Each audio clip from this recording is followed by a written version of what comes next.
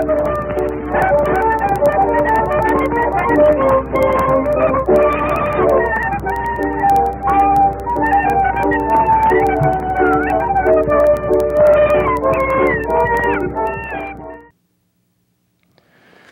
back as we continue our journey through the book of Salvation is from the Jews by Roy Schoeman.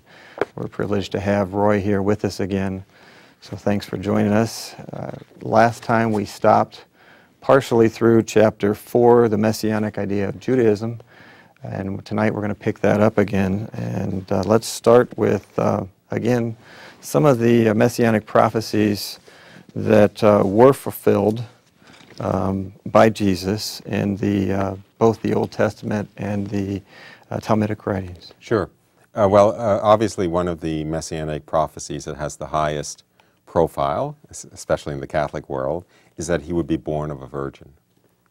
And um, the Hebrew word in the, that appears in the Old Testament in that prophecy that the Messiah would be it's a prophecy that alludes to the Messiah, that he would be born of a virgin. It's Alma.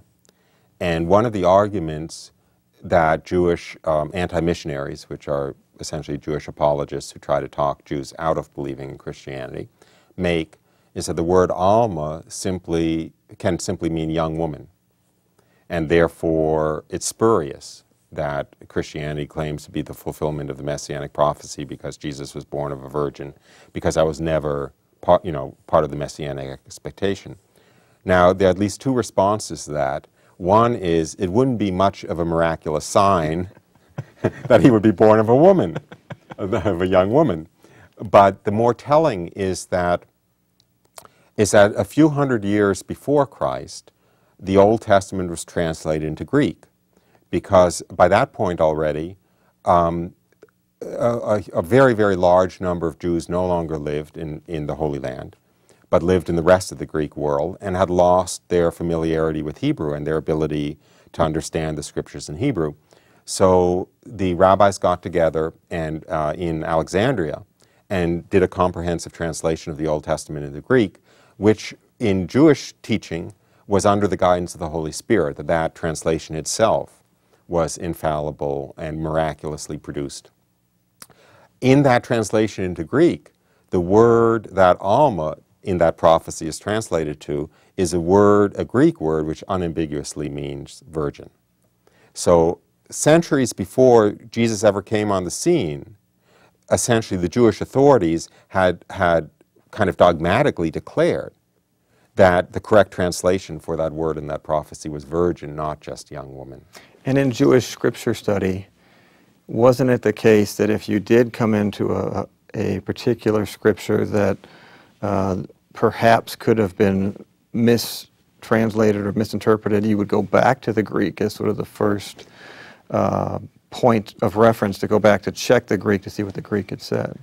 Uh, it certainly is one of the resources that was was available to. So to they just choose to ignore that. Um, much much of Judaism has taken a turn of defending itself against the claims of Christianity. So there are a lot of places where the Jewish position has become a position of, of kind of, um, of defense. So I might as well use that to kind of go into another aspect of all of this, which is there are very, very many prophecies in the Old, messianic prophecies in the Old Testament that Jesus fulfilled. Um, but there are also many messianic prophecies in the Old Testament that one could claim that Jesus has not fulfilled. In particular, those, we know them as Christians, we know those prophecies as Christians to be second coming prophecies. Because a number of the messianic prophecies in the Old Testament refer to his, um, to, the, to when Jesus will come again. Um, for instance, um, um the, um, in, in um, uh, let me, let me uh, uh, turn to that in Zechariah, where the prophecy is um, Then the Lord will go forth and fight against those nations as when he fights on a day of battle. On that day his feet shall stand on the Mount of Olives, which lies before Jerusalem on the east, and the Mount of Olives shall be split in two from east to west by a very wide valley, and so forth. I mean, there are these incredibly glorious images of the Messiah coming and as, as a conquering hero and changing the entire state of the world in a kind of very visible way, a, a very visible, glorious victory. And of course, we see reflections of that in the New Testament where um, some of the accusations, uh, the disappointment in Jesus was that he wasn't, you know, the, the military conquering, um, you know, king Messiah. Now, so, so Christian, uh, Jewish apologists or Jewish anti-missionaries will say, see, Jesus didn't fulfill all those prophecies.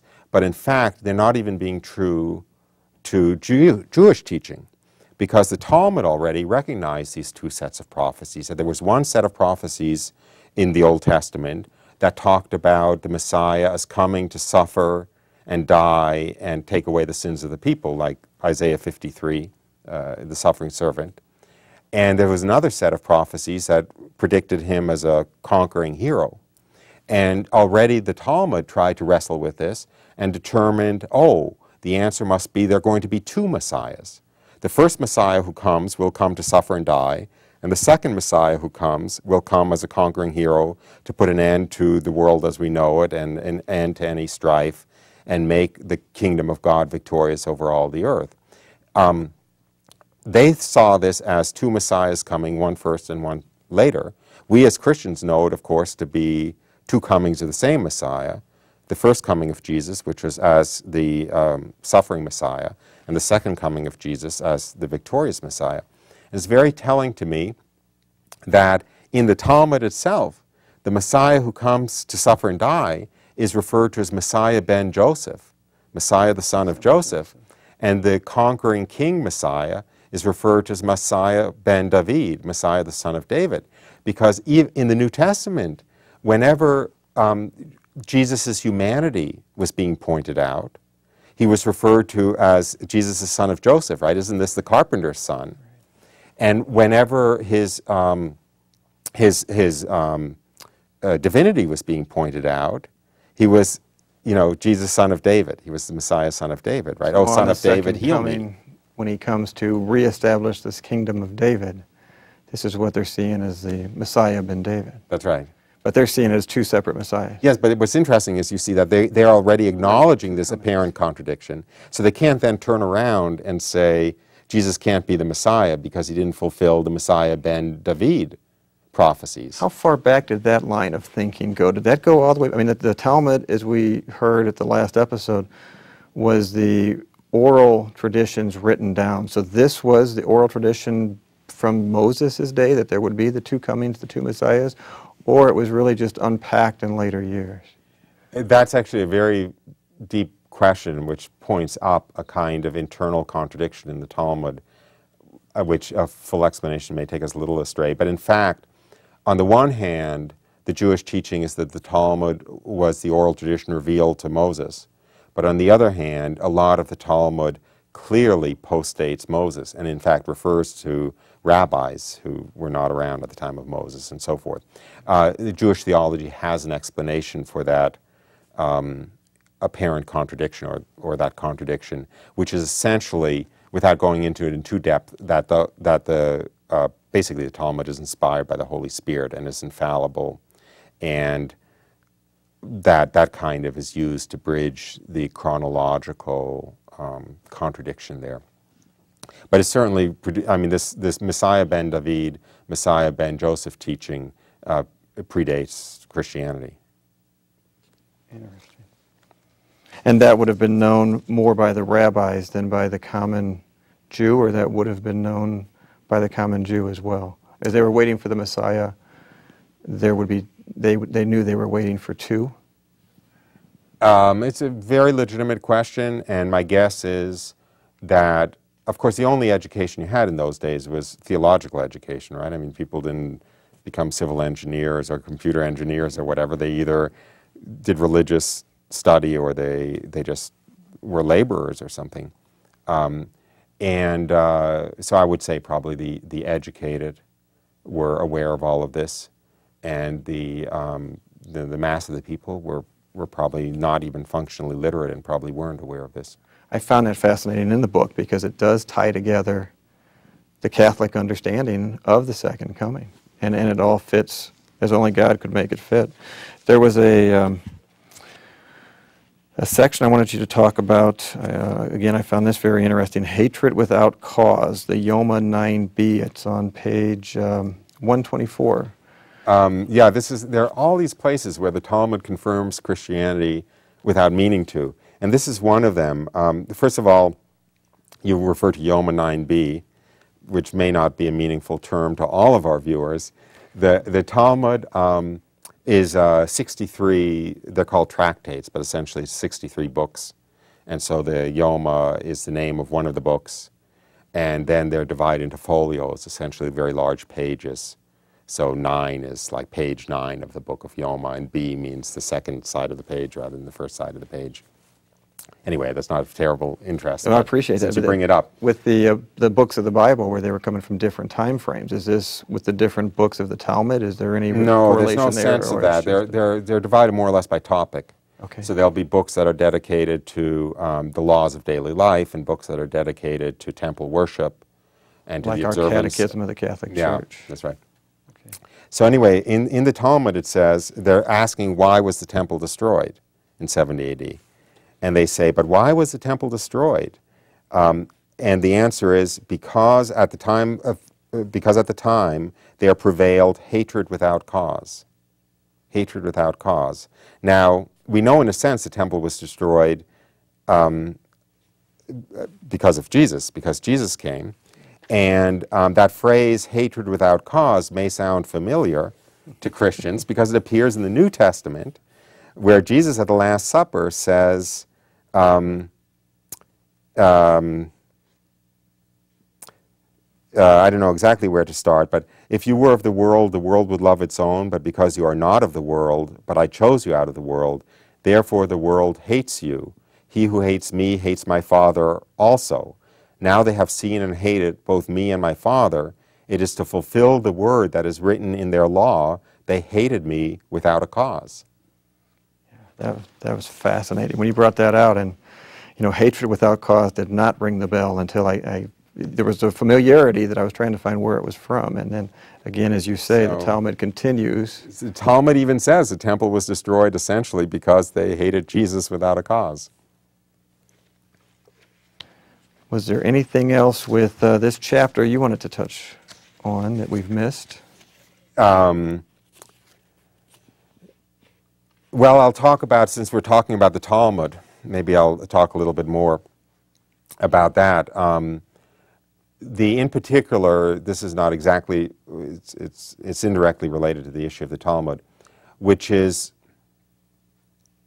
that um, Judaism, when the temple was destroyed, was faced with a tremendous crisis because the entire Jewish sacramental system was oriented around temple sacrifice, around the animal sacrifice. And you couldn't have animal sacrifice without the temple because the only place that animal sacrifice was valid was in the temple.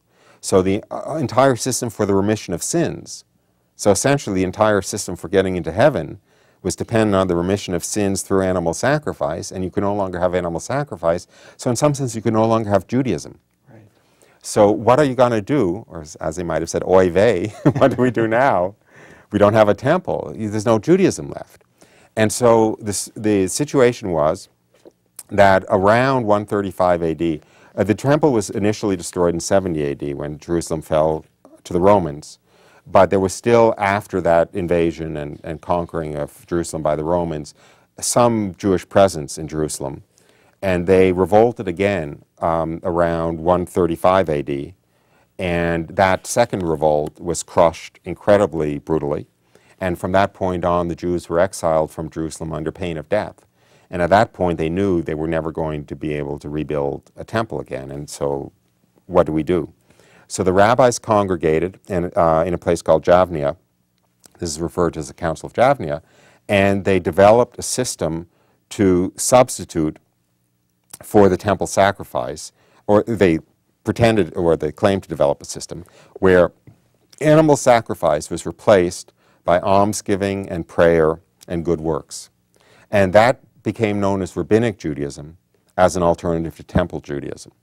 And obviously, the Judaism of the last um, 1850 years, 1900 years, has been rabbinic Judaism rather than temple Judaism, which is another argument against the dual covenant theory, which we had discussed earlier.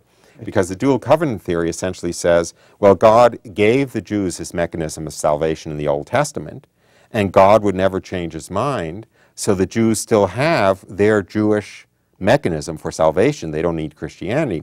Well, even if that were true, the Jews couldn't be using their old mechanism of salvation because the Old Testament mechanism of salvation required animal sacrifice, which the Jews haven't been able to do in 1900 years. So it's entirely moot, whether moot meaning irrelevant or un, unenforceable, because even if God was willing to honor the old system, the Jews couldn't honor the old system. Now, you could hardly argue that the Council of Javnia was directly guided by the Holy Spirit and therefore um, a reflection of like God's substitute for Judaism, because it was at the Council of Javnia that the um, Jewish Christians were anathemized. You know, and, and uh, Jesus was again, you know, uh, condemned as the false Messiah. Mm -hmm. So you could hardly argue that that was a council of the Holy Spirit, you know, lock, stock, and barrel. Am I, uh, i know I'm talking a lot, but there's one other piece here that Please. I want to put in, and, uh, one other piece of the puzzle which is I want to talk a little bit about that second Jewish revolt because it says a lot about the early relationship between the Jews and the church. As we see in the book of Acts, um, you know, all, virtually all of the very first um, wave of Christians were Jews who, who became followers of Jesus. At Pentecost, when Peter stood up and preached and 3,000 were baptized, all of those were, were Jewish, Jews or Jewish converts.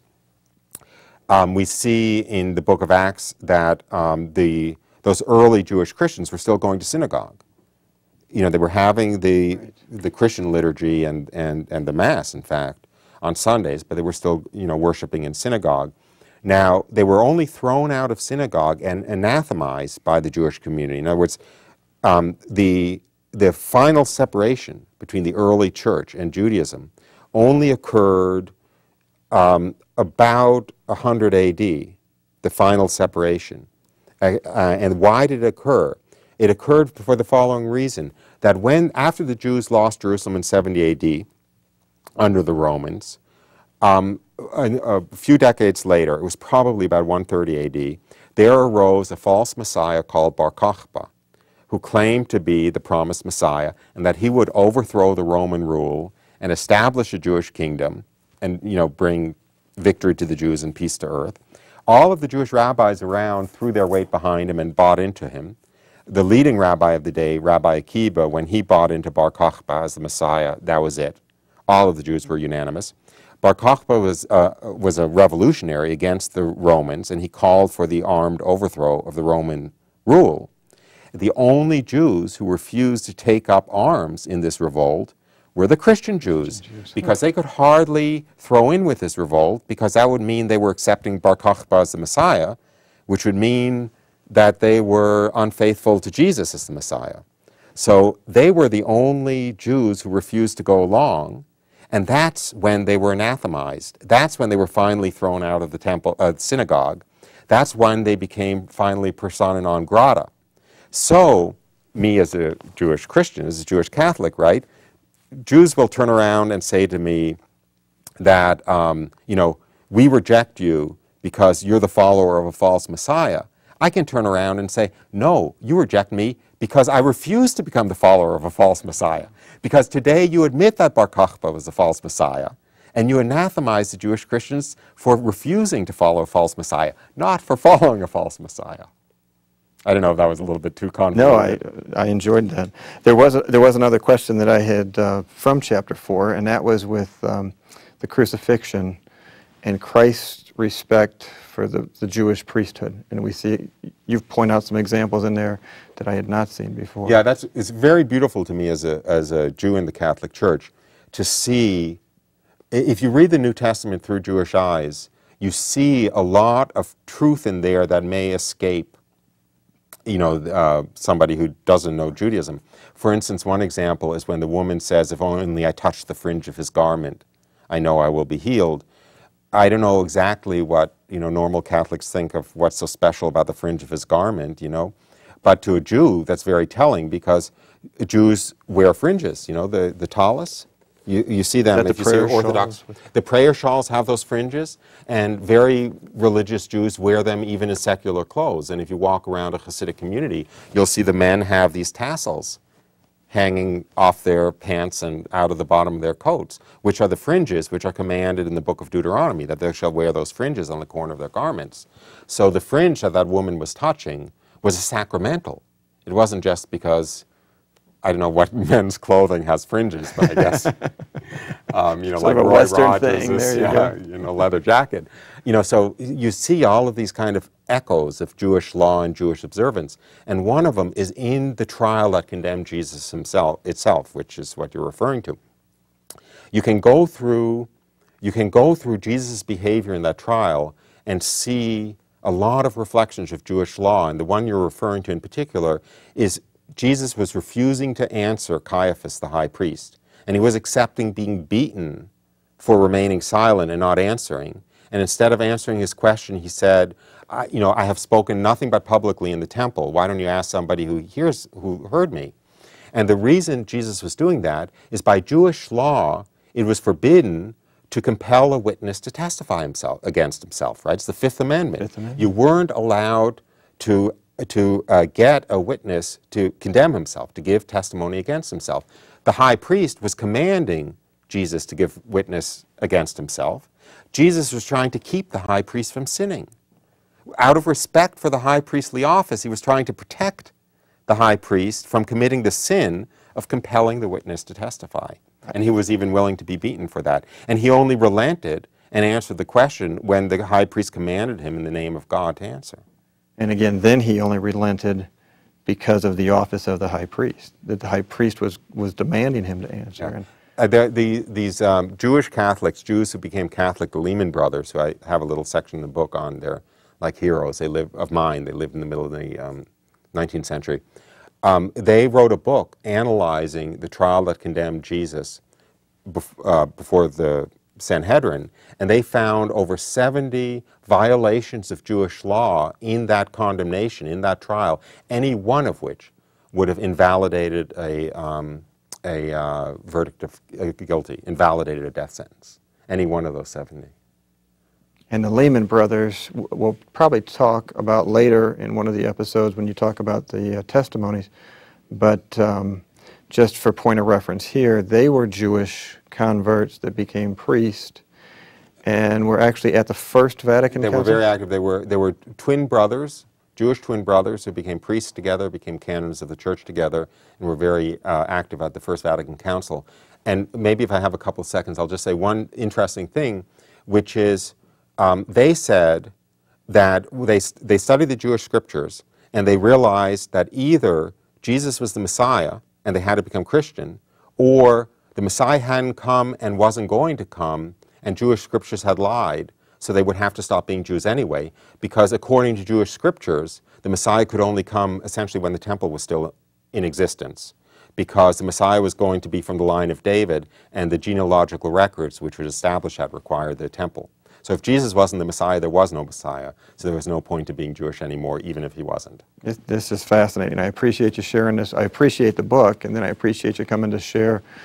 We, we can go so much deeper in understanding our faith, just like this with the uh, Jesus' respect for the priesthood. We, we would not have picked up on that in 21st century Western world, and so it's it's important that we we go through this and we learn um, our heritage. And I, I appreciate you doing that and appreciate everybody joining us again uh, with this episode. Um, you, you got an extra week. You didn't have to read a chapter, but next week we'll start the next chapter and we'll uh, hopefully you'll join us then. Thank you.